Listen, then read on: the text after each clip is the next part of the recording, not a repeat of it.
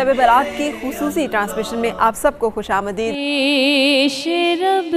Sir को झुकाओ आ गई शबे बरा अल्लाह सुबहान आसमान दुनिया पे नजूल फरमाते हैं और कि मगफिरत चाहते हो तो मैं मौजूद हूँ कोई रहम चाहते हो मौजूद हो।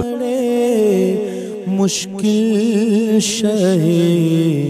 रजब के बाद शाबान का महीना भी है। इसमें भी तुमने थोड़ा बहुत जागना है, इबादत करनी है, अल्लाह की तरफ़ मुतवजह होना है। अल्लाह शान